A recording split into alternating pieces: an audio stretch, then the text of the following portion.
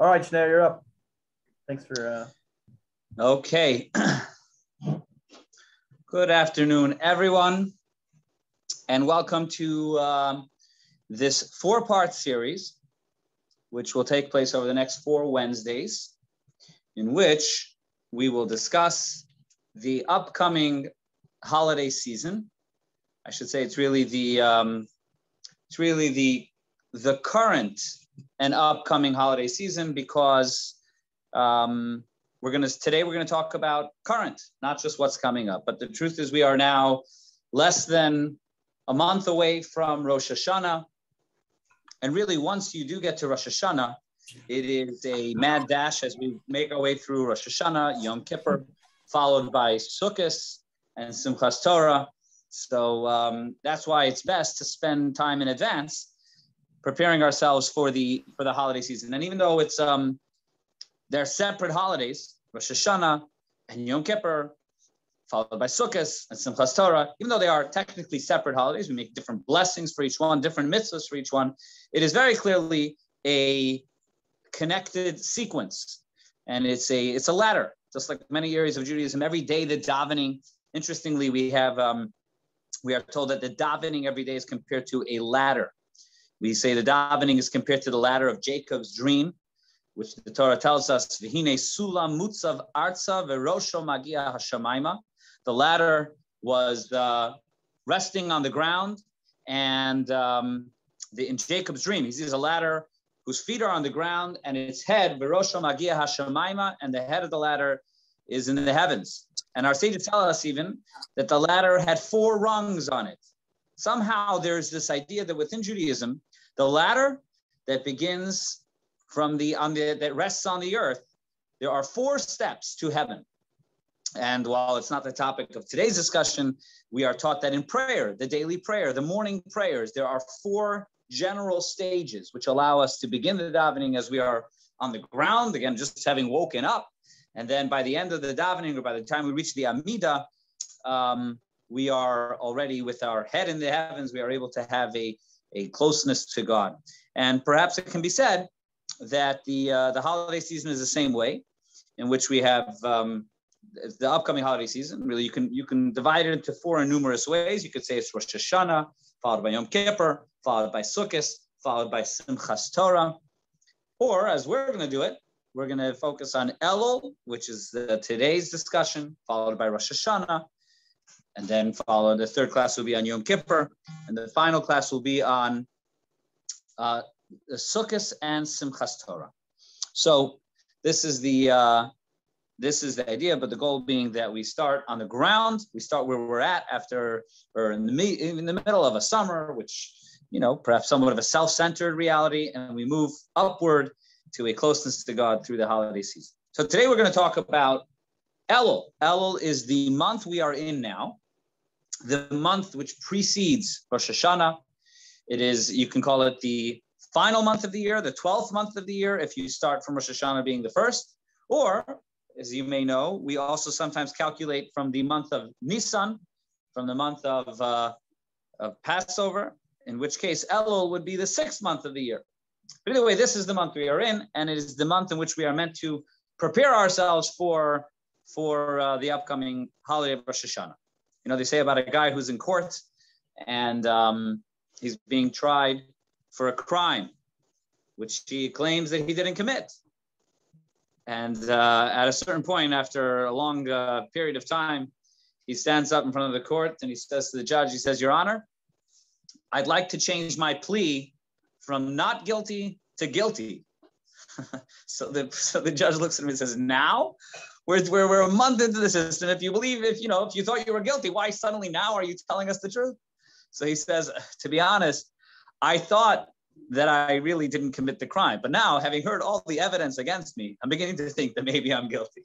So maybe, you know, one can have this approach to Elul. Elul is the time where we, uh, you know, as we get ready for Rosh Hashanah and Yom Kippur, it's the time where we start taking all the evidence against ourselves of the past year and we start feeling guilty. We want to change our plea. I used to think that I was innocent. Now, God, I realize that I am actually guilty. But that's really a mistaken approach to Elul. There are those who have that approach. There are those who look at it and say, you know, Elul is the time to feel guilty.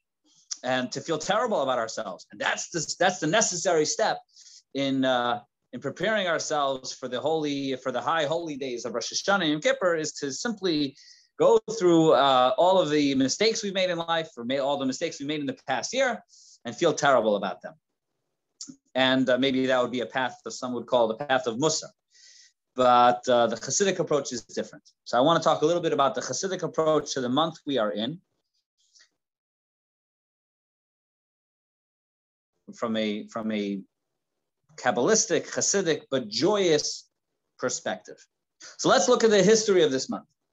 Um, why is it that we should start preparing ourselves a month before Rosh Hashanah? I mean, uh, you know, I guess a month is a practical unit in time, but is that it? Is that it? It's simply that, you know, let's just randomly choose an amount of time to prepare ourselves for, and let's call it a month. What about a week? What about 10 days? What about 20 days? Why, why, why a month before um, Rosh Hashanah is the appropriate, would be the appropriate time to prepare so the truth is that there's a there's a historical uh, reason for this, and that is that we have to go back to the very beginning, to the first Yom Kippur, and the first year in which the Jewish people were a people. What was the first year of Jewish existence? So even though we have the first Jew, typically is is Abraham and Sarah, they're the first Jews, but Judaism as a nation, as an identity, as a as a system of law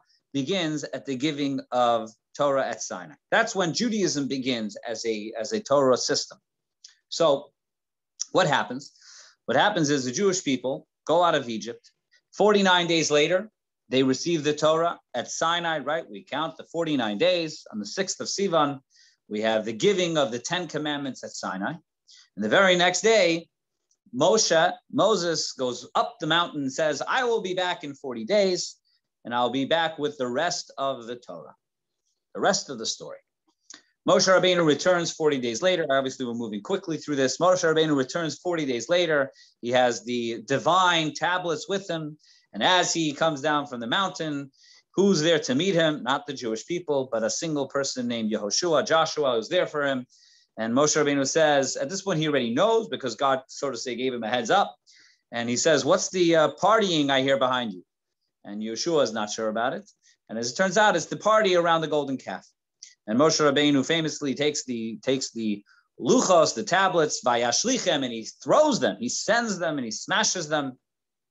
And this is the uh, the terrible sin of the golden calf. It is a sin which reverberates throughout all of history. And um, so God's immediate response is to tell Moshe, I don't need these people. I gave, I, I, revealed myself to them at Sinai and I spoke to them a revelation which was unprecedented, a revelation which really has no, has no uh, parallel afterwards. And says, I spoke to them and I said, I am the Lord your God. And now 40 days later, they're already worshiping a golden calf. I have no need for such a people. In fact, God says, I'll destroy them and I will turn you into a great nation. And then what happens is Moshe Rabbeinu, after breaking the luchos, he goes right back up onto the mountain. The breaking of luchos happened on the 17th of Tammuz. So again, the Torah was given, there's the Ten Commandments on the 6th of uh, Sivan. Moshe goes up on the 7th of Sivan. 40 days later, on the 17th of Tammuz, he comes down, breaks the luchos, and then he goes up, and there's a process then, a few days, and he goes up two days later, back up to God, and for 40 days, and he spends another 40 days up on the mountain. And the goal of these 40 days is to convince, so to say, or to defend the Jewish people to God and to plead with God not to destroy them. And Moshe Rabbeinu was successful in this regard. Moshe Rabbeinu was successful in, in, in defending the Jewish people, and God says, okay, they will not be destroyed. Fine. Moshe Rabbeinu then comes back down from the mountain. This is now a couple days before uh, the, very end of the month of Av. Again, we have Sivan, followed by Tammuz, followed by Av. At the end of the month of Menachem Av, Moshe Rabbeinu comes down from the mountain, having succeeded at his agenda of defending the Jewish people. But then Moshe Rabbeinu goes back up. Rosh Chodesh El. On the first of Elul, Moshe Rabbeinu goes back up onto the mountain and he spends another 40 days there. Now, what is he accomplishing during these 40 days? Here it says he's turning to God and he's asking God again for forgiveness.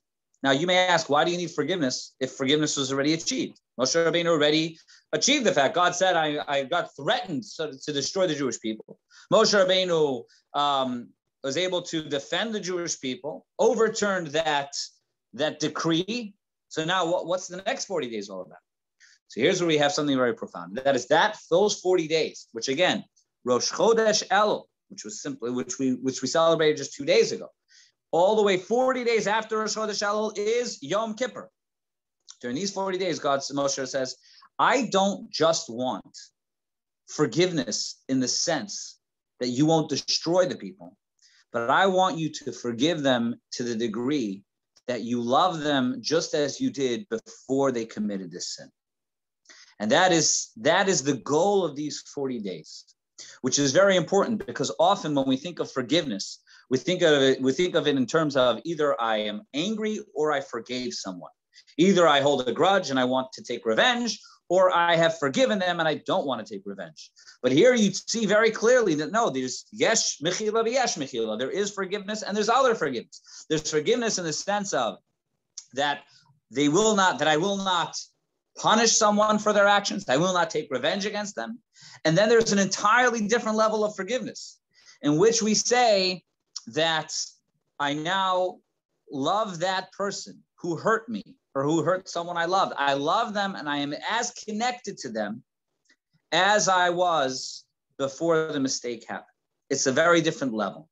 It is a it is a place. It's coming from a place asking such forgiveness. Think about now. We've been speaking in terms of the one who gives forgiveness, but think about from the terms of the one who asks forgiveness. There's two different ways I could be asking forgiveness. One is I could be standing in front of a judge and I'm saying, Judge, I know that I've done something wrong, and you are going and, you, and you're going to sentence me to some sort of punishment. Please forgive me. Where is that request coming from? It's coming from a place that I don't want to be punished. So that's where that request is coming from. What there's a, there's a different the request for forgiveness could be coming from a different place entirely, and that is that there's no threat of punishment. There's no threat of revenge. But nevertheless, I turn to the person or to the judge or to someone I've hurt and I say, just forgive me, not because I'm fear, I'm afraid of any consequence, but simply because I want to experience the closeness and the love with you as it existed before I committed this mistake. That's what I want. And this is the this is what Moshe Rabbeinu wanted to accomplish in this second set of 40 days. Really, it's a third set of 40 days. Again, the first set of 40 days that he was on the mountain, he received the Torah. That's before any mistake happened. Second set of 40 days was when he was uh, when he was asking again, defending the Jewish people, hoping to overcome the the uh, the threat of destruction. And it's a third set of 40 days, which is something else entirely, which Moshe says, we're, not, we're no longer afraid of any sort of punishment. We simply want your closeness as you were, as it existed before the sin of the golden calf. We want to experience that closeness again. And here too, Moshe was successful. How do we know he was successful? First, because God said so, but also by demonstration that God sent Moshe down. What happens when Moshe Rabbeinu returns on that third set of 40 days? He comes down with the second set of luchos, the second set of tablets. The idea of the second set of tablets symbolized that God says, I am now giving you the same opportunity I gave you before you committed the sin, which I sent Moshe down with tablets. I'm giving you that same opportunity again. And therefore, not only that, our sages tell us that the second set of tablets actually contained greater potential than the first set. The first set of tablets only contained the potential of the written Torah, and the second set of tablets included not just the written Torah, but also the uh, the the oral Torah which came afterwards. So this is the accomplishment of what happens on the uh, with the second set of tablets. But all this brings us back to our initial question, which is what are we celebrating during the month of Elul? And why do we start the preparation a month in advance? Why not a week in advance? Why not two months in advance? So the answer is because we have history over here. In Judaism, everything, you know, when, when something happens initially in history, it creates it creates an opportunity and an energy forever. So, you know, when we, uh, you know, this is true about every holiday. Maybe this is an important preface for the holiday season. And that is that when we celebrate Pesach, Passover, we're not commemorating, we're not simply commemorating an event that happened thousands of years ago. Our belief is that because redemption happened on this day, 3,000 years ago, God gives the possibility and the opportunity of redemption every year on that day. Again, we don't we, we don't believe in Judaism is not a series. Judaism is not a the Jewish calendar is not a series of memorial days. We're not commemorating the Exodus, commemorating the giving of the Torah, commemorating sitting in the in the in the uh, the clouds of glory in the uh, in the desert, commemorating the Maccabees, commemorating the story of Haman and Esther. Each of these events, yes, we remember something that happened, but much more profoundly, we believe that once the ener- that energy was put into the world on that day, thousands of years ago, that energy it, it can be experienced every single year. So on Pesach, we could tap into the energy of freedom, which which is which is given to the world on that day. On Sukkot, on Shavuos, we could tap into a new energy of Torah, which is which is brought into the world on that day. And in Purim, a new, every every holiday has its own energy, which we're not remembering, we're experiencing. And if that's the case, when it comes to the month of Elul, just as again in that first year, Elul was the month. That's when Moshe Rabbeinu went up onto the mountain. That third time, and again, the goal was forgiveness, but it's important to emphasize not forgiveness in the sense that we don't want to be punished, but forgiveness from a place of love that we want that love which we which is which was experienced before our mistake. We want that love again. And therefore, that energy exists every year during this time. So you have to take advantage of it. It's an energy in the air. How can you not take advantage of the opportunity of tshuva, the opportunity of, of closeness to God, which is which exists during this month? And by the way, think, if you think about it, it's a pretty radical idea. It's a pretty radical idea that we believe and we are confident that not only can we petition to God that we not be punished for our mistakes, that we not feel the consequences of our errors, but that even though we've done things wrong, we have absolute belief that if we turn to God sincerely, then God says, not only will you not have to deal with any consequences, but the love and the closeness will exist as if you never committed such a mistake. And we are to think in our lives about people who have done things to us, people who have harmed us, people who have said things to us which have hurt our feelings. You know, how can we honestly say, especially if it's in a profound way, can we honestly say that it is easy to forgive and not just to forgive in the sense that I won't do anything, take any revenge, but rather I love them as if that comment wasn't said, as if that action wasn't taken, as if the harm or as if the abuse was never done. It's very difficult. As a human being, it is very difficult, again, especially if someone abused me in, in, in, in a way which is profound, serious, to be able to say that I am able to overlook it, not just overlook it, but that, I, that my feelings for them is as if it never happened. It's very difficult. And yet we believe because God tells us so. We believe that we can accomplish that with God. And this is the month. This is the month in which we can accomplish it. So it's a month of repentance, but it's not a month of guilt.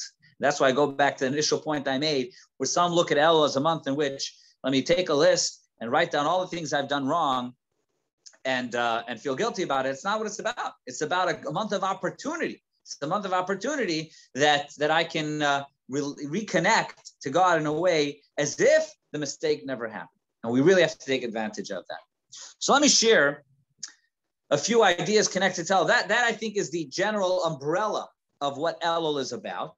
And now we'll share different ideas connected to the month, which uh, which will bring us back to the same idea. So some of you may be familiar with the idea that when it comes to the Hebrew month of Elul, our sages find different uh, hints allusions within the actual Hebrew letters of the month, the Hebrew letters of the of the name of the month. So the name of the month is Elul, um, which is spelled Aleph Lamed Vav Lamed. The Hebrew letters Aleph Lamed Vav Lamed. I'm going to share, and I'm using a phone over here to teach this, but I'll, hopefully I'll try to share an image over here, which will allow us to uh, to to understand this a little bit more. The Hebrew. Just a moment. Pull this up. Okay, so so so here you have a picture in front of you which spells out the letters. So in the center, of the bottom of the image, you have the Hebrew word Elul. The left-hand side is spelled out in English, E-L-U-L. In, he, in Hebrew, it is Aleph, Lamed, Vav, Lamed. In Judaism, we, uh, we pay close attention to the letters. The letters are very significant, the Hebrew letters. We believe there's divinity in the Hebrew letters. The Hebrew letters of your the letters of your Hebrew name contain spiritual energy. That's why it's very important to know your Hebrew name. And uh, when we pray for someone, we pray, we use their Hebrew name because there is spiritual energy attached to one's, to the Hebrew letters. We believe God created the world with the Hebrew letters.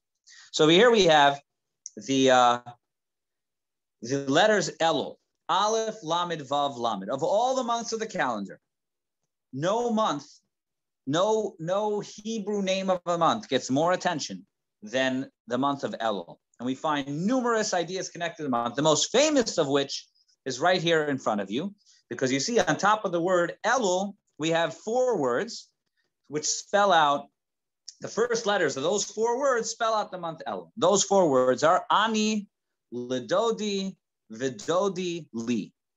I am, in the English translation, I see on the very top of this image, it's not perfectly accurate. The English translation says, I am my beloved's and my beloved is mine. But the perhaps the more accurate translation would mean would be I am to my beloved, and my beloved is to me.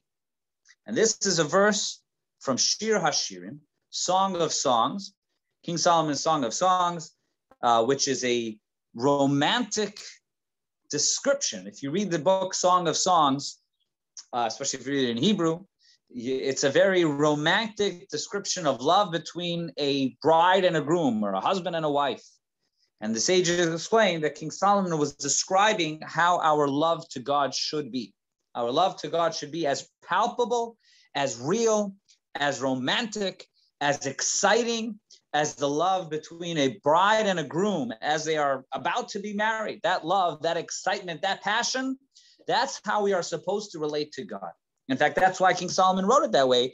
It's so that we shouldn't um, we shouldn't uh, we shouldn't think of our relationship with God as something very abstract and spiritual and unrelatable. He says, no, you should relate when we talk about loving God, which we say, love God with all your heart and all your soul.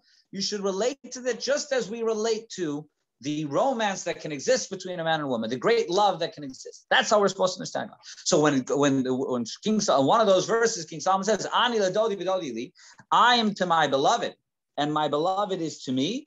Whoops, I'm sorry. I am to my beloved, and my beloved is to me. That's Rosh Tevis El. Oh, that's the acronym for the month of El. So what do we see from here? Again, goes back to the point we made. El, on the one hand, on the one hand, it is a month of calculation. It is a month of reflection. It's a month in which we are supposed to think about where we came from, what we've done during the past year, how we can be better, what areas of our life we should change, but not from a place of guilt, not from a sense of I'm a terrible person, but rather I am to my beloved. I am to my beloved. In this case, this is God. My beloved is to me and therefore it's it's it's coming from a place not of fear or a concern of punishment but i want to reestablish a connection of love that existed at some point and perhaps mistakes that i've made have gotten in the way of that and now i'd like to reconnect i'd like to feel that closeness again that's Elul. That's the acronym for the month of Elul. Based on this, I'll share. I know there's, there's a lot to share, but I think the idea was a was a half hour discussion. So we only we, we only have about five minutes left. I want to share another point, another rather uh, another idea, which is you, which is a Hasidic concept, which is brought up. It is taught by the Alter Rebbe of Shneur Zalman of Liadi, but it perhaps goes further back even to the Baal Shem Tov, the founder of the Hasidic movement, who gives who gives an interesting uh, parable to explain what the month of Elul is all about. You may have heard that there's a Hasidic idea that Elul the idea of this month is called Melech BaSadeh, which means the king is in the field. The Alter Rebbe, when he writes about the month of Elul, he poses the following question. He says, the month of Elul is a month of such great re- divine closeness, divine revelation, which is really unparalleled throughout the rest of the year. It's the month, as he says, of Hiskalos, Yud Gimel Midot Rachamim, the revelation of the 13 attributes of God's mercy. God's mercy is always there, just as we are all, but it's the month in which that mercy is more revealed. I think we can relate to that. In other words, we all have elements within ourselves, which we are merciful. But sometimes that feeling of mercy, that feeling of compassion is stronger than others. So this month is a month of divine compassion. Says the Alter Rebbe, he says, if that's the case, shouldn't it be a month-long holiday? Why is it why is it called chol? It's weekdays. Shouldn't it be a month-long holiday? Now, again, a month-long holiday could have technical ramifications and difficulties as to how to observe a holiday for a month long, especially if we eat during this month the way we eat on holidays, that would be extremely unhealthy. But that's that's a technical reason. What could be the um, what what would be the what, you know if if there's added holiness during this month, it should be a month-long holiday. And the answer to the question he gives by way of a parable. He says, to understand this question, we have to explain it by way of a parable. The parable is the king in the field. He says that uh, there was a king. And uh, in ancient days, you know, today it's perhaps a little bit more difficult to understand the, the novelty of what a king, a royal king was.